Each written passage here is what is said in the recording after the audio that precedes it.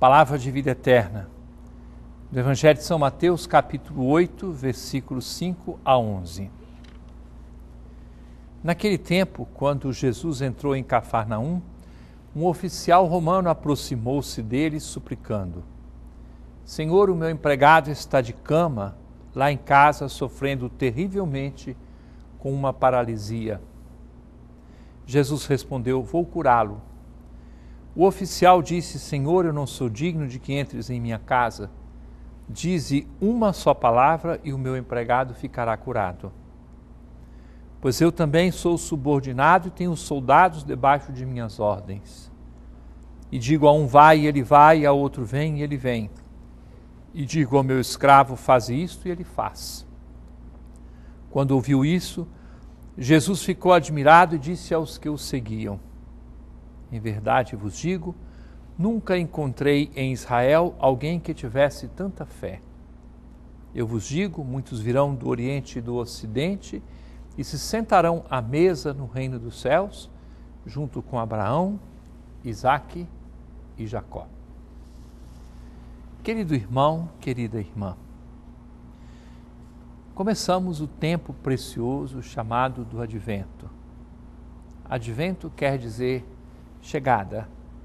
Deus, nós acreditamos nele e temos a certeza de que não fica assentado sobre um trono lá no céu, mas ele vem ao nosso encontro. E durante as próximas semanas, nós meditaremos muitos textos da Escritura que nos mostram a entrada de Deus na vida das pessoas.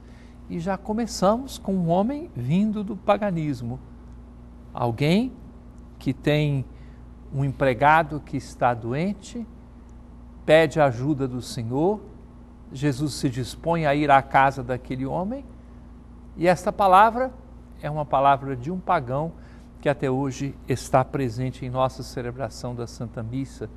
Todos os dias antes da comunhão, dizemos: Senhor, eu não sou digno de que entreis em minha morada, mas dizei uma palavra e serei salvo é a certeza de que Deus quer que todos se salvem, que todos cheguem ao conhecimento da verdade. A certeza de que, dependendo de Deus, as pessoas não são excluídas, antes são convidadas, chamadas a se aproximarem.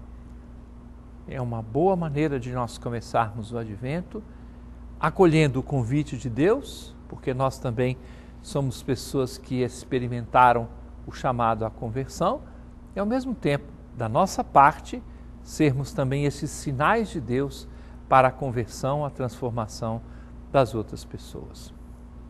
É palavra de vida eterna.